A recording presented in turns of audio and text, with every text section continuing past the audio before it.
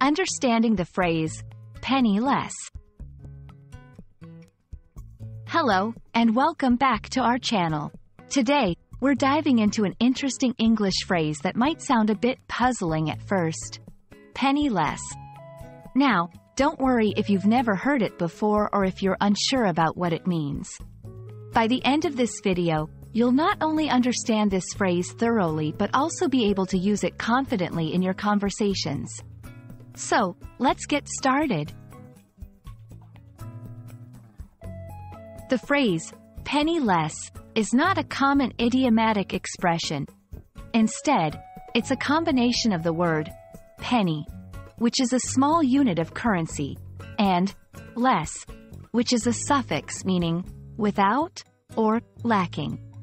When we say someone is penniless, we are literally saying they are without pennies, or in other words, they have no money or are extremely poor. It's important to note that penniless isn't a fixed phrase or idiom in English. It's more likely you'll encounter the term penniless, which is an actual word meaning having no money whatsoever. However, understanding penniless is a good way to see how English words can be combined to create new meanings. Now that we know what penniless means, let's look at how it might appear in conversation or writing. 1. Describing a situation. After paying all the bills, I'm nearly penny less this month.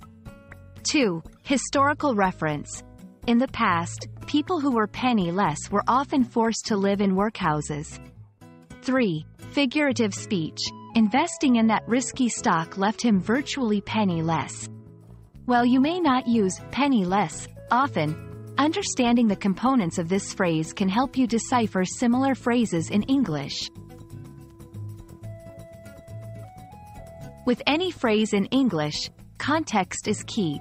The phrase, penny less, can be taken literally, but it can also be used hyperbolically to express that someone is temporarily out of money or feeling particularly poor at a moment in time. It's not always an indication of actual, dire financial status. For instance, a friend might jokingly say they are penniless after buying an expensive item, even though they aren't truly out of money. Always pay attention to the context in which it's used. We hope this video has shed some light on the phrase, penny less, and given you confidence in understanding and possibly using this phrase.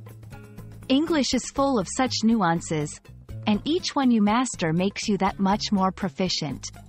If you found this video helpful, please give us a thumbs up and subscribe for more English language learning content. Until next time, keep practicing and stay curious.